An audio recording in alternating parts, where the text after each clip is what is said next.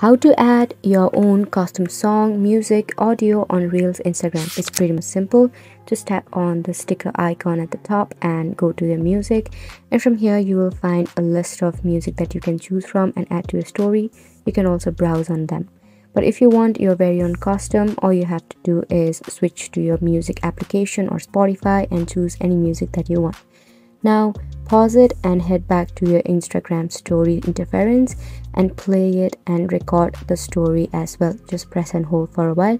As you can see it is recording. What this will do is it will also record the sound that is playing at the background that is the song and by this method you'll be able to post your very own custom song as your story. Wasn't simple. Hopefully this video was helpful and thank you so much for watching.